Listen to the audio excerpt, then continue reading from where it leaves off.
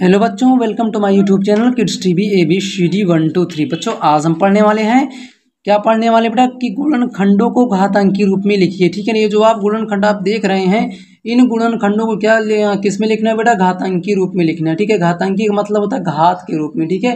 इसको हम घात के रूप में लिखेंगे, वो कैसे लिखेंगे? आप देख सकते हैं, इसमें अलग अलग संख्याएँ हैं। हम इन अलग अलग संख्याओं को घात के रूप में कैसे लिखेंगे? आइए इस वीडियो में हम जानते हैं, ठीक है? तो इसमें आपका जो पहला सवाल है, आप देख सकते हैं, तीन गुणे तीन, आप पहला सवाल देख सकते हैं, यहाँ पे क्या लिखा है? तीन गुणे क्या लिखा है बेटा? तीन गुड़े तीन गुड़े, तीन। इसको घातांकी रूप में कैसे लिखना है? घातांकी रूप में मतलब इसको कैसे लिखेंगे? आप देख सकते हैं यहाँ पे, ठीक है? घातांक घातांकी रूप बताना है। ओके? देखिए यहाँ पे।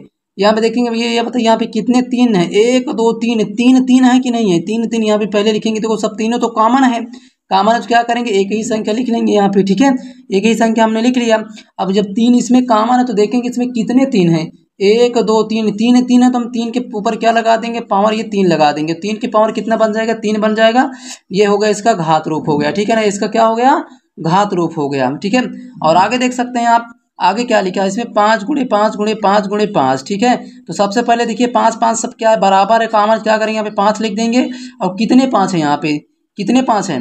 एक, दो, तीन, चार। चार, पाँच है तो पाँच के पावर कितने लगा देंगे? पाँच के ऊपर हम ऐसे लिख देंगे चार तो अब पाँच की पावर चार बन गया। क्या बन गया बेटा? पाँच की पावर चार अर्थात इसका ये घातांकी रूप कंप्लीट हो गया है, ठीक है?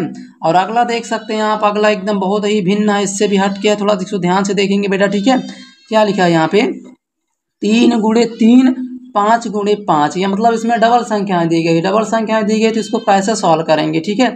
इसको कैसे सॉल्व करेंगे? इसमें डबल संख्या है कि नहीं? देखो, तीन गुणे तीन गुणे तीन और पाँच गुणे पाँच गुणे पाँच। है कि नहीं? तीन तीन है और पाँच कितने हैं?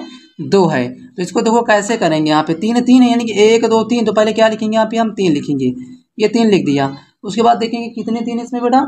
एक, दो, तीन। तीन है तीन है तो तीन की पावर क्या लिख देंगे? तीन लिख देंगे। उसके बाद देखो मल्टीप्लाई यानी घोड़े का चिन्ह क्या करेंगे? घोड़ा का चिन्ह लगा देंगे। उसके बाद, ठीक है? उसके बाद क्या है? पाँच तो यहाँ पे क्या लिखेंगे? पाँच लिखेंगे। अब इसमें पाँच कितने हैं? दो हैं। एक, दो। तो इसमें क्या लगा देंगे? पामर दो लगा देंगे। अर्थात ये क्या हो गया? ये हो गया इसका घातांकी रूप हो गया। क्या हो गया बेटा? इसका घातांकी रूप ये कंप्लीट हो गया। इसको ऐसे लिखेंगे। अगर डबल संख्या रहेंगे तो मल्टीप्लाई में ही लिखेंगे गुड़े में ही लिखेंगे ठीक है? और अगला देख सकते हैं आप अगला भी सेम इसी प्रकार है। इसमें क्या है? डबल चार है और डबल तीन है। तो क्या करेंगे? सबसे पहले हम लिखेंगे यहाँ पे क्या लिखेंगे? आ, चार लिखेंगे। चार इसमें कितने हैं? एक दो। तो चार के पावर क्या लगा देंगे? दो लगा देंगे। उसके बाद क्या गुणक चिन्ह लगाओ? क्योंकि डबल संख्या है? डबल संख्या होती है? तो इसको मल्टीप्लाई में लिखते हैं गुड़े में लिखते हैं ठीक है? उसके बाद क्या है? तीन है। तीन इसमें कितने हैं? एक दो। एक दो दो तीन है ना, जब दो तीन है तो क्या करेंगे इसमें हम, इसको दो तीन है तो इसके पावर क्या लगा देंगे? दो लगा देंगे। ये इसकी पावर कंप्लीट होगा ये आप देख सकते हैं यहाँ पे ती, एक, दो, तीन, सेम संख्या है तो तीन उतार के जब सेम संख्या तो क्या करेंगे? सेम संख्या है तो तीन उतारें, देखो, तीन उतार दिए हैं और कितने तीन हैं? एक, दो, तीन तीन तीन हम यहाँ पे ऊपर पावर का क्या लगा देंगे? तीन लगा देंगे। इसका मतलब ये घात रूप का कंप्लीट हो गया। और इसको देखिए यहाँ पे पाँच, देखो, एक, दो, तीन, चार, पाँच पाँच पाँच मतलब अब पाँच जो है वो चार है तो पाँच की पावर चार लगा दिया, ये भी इसका घातांक रूप कंप्लीट हो गया, ठीक है? और इसको देखेंगे, एक, दो, तीन।